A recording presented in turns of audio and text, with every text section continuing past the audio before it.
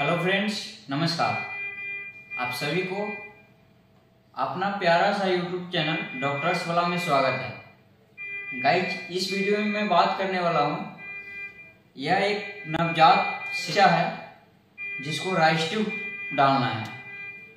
तो मैं इस वीडियो में बात करने वाला हूँ कि राइस ट्यूब सही तरीके से कैसे आप डालेंगे। तो फाइनली ये बच्चे, आज इस बच्चा का जन्म हुआ है। तो इनका तबीयत थोड़ा अस्वस्थ है।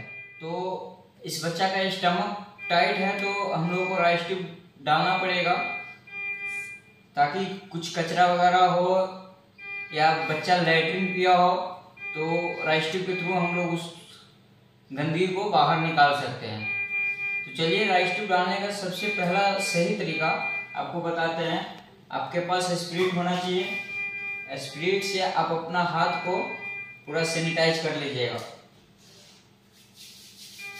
स्प्रिट को बढ़िया से हाथ को सैनिटाइज कर लीजिए। इसके बाद आपको आठ नंबर राइस ट्यूब लेना होगा। ये आठ नंबर राइस ट्यूब है। इसे हम लोग फीडिंग ट्यूब या इंची ट्यूब भी बोलते हैं। ठीक है? इसको आराम से निकाल लेना है। और फिर हमको इसके लिए आला को रेडी रखना है। आला भी मेरे पास होना चाहिए। और बच्चा के सही तरीके से माप मेजर कर लेना है। कान से माउथ तक, फिर माउथ से स्टमक तक। जितना हम लोग को ज़रूरी है, उतना फिर हम लोग डालेंगे। ठीक है? इसके बाद सही तरीके से आपको मैं दिखा रहा हूँ कि कैसे डाला जाता है। बच्चा को सर को इस ढंग से पकड़िए और फिर इसको नाक से होते हुए और स्टमक तक पहुँचाना है। जितना हम लोग मेजर किए थे उतना। ध्यान रखना है कि ये मुँह के थ्रू वापस ना आए। ठीक है? जितना हम लोग मेजर किए थे फाइनली उतना डाल चुके हैं अंदर। अब हमको पाँच एम एल सिरिंज लेना है। पाँच एम सिरिंज लेंगे, इसको चेक करने के लिए। जो हम लोग लगाए हैं, वो सही लगा है या नहीं?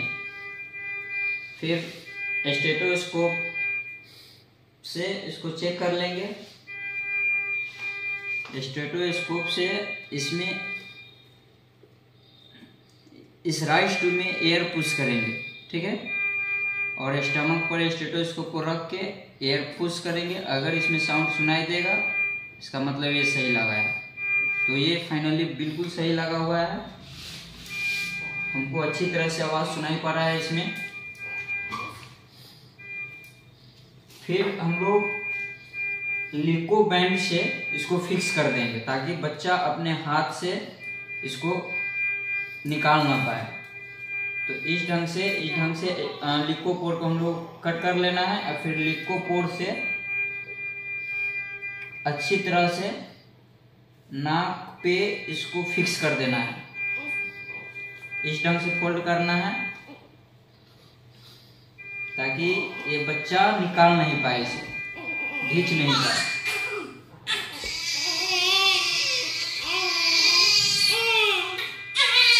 तो फाइनली आप देख पा रहे होंगे कि इस बच्चा को राइस ट्यूब हम लोग लगा चुके हैं, और आई होप कि आप लोग राइस ट्यूब लगाना सीख गए होंगे। मिलते हैं फिर अगली वीडियो में, तब तक के लिए bye love you thank you for watching this video